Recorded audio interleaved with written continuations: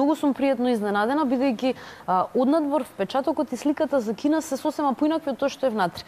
А, од а, тврдењето дека се целосно нарушуваат човечките права, а, до дека нели еднопартискиот систем и режиски систем во кој што вие не можете многу да маневрирате. И нема демократија? И дека нема демократија. А, Ако ќе отидеш Ако таму? го формулираме како такво, тоа е така. Меѓутоа, ако ќе влезете вие внатре, гледате дека тие функционираат во тој систем на демократија, дека тоа функционира безпрекорно.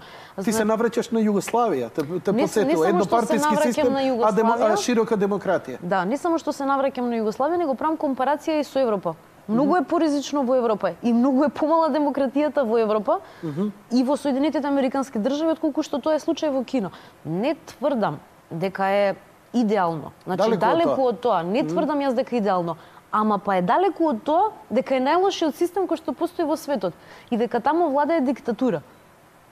Значи, воопшто не е ситуацијата таква. Кога во велиш- Кина се, осе, се, се почувствува побезбедно отколку во Велика Британија или во САД, например. Кога го збориш ова, збориш шетање по улици, Зборам, баш буквално она како човек. зборам, да, од посета на државни институции, до посета на пазар, до одење по улица пеш, до возење со метро или со такси.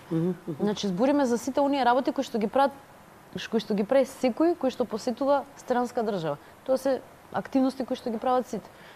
Во Кина се почувствував многу побезбедно него во Велика Британија или во Соединетите Американски држави.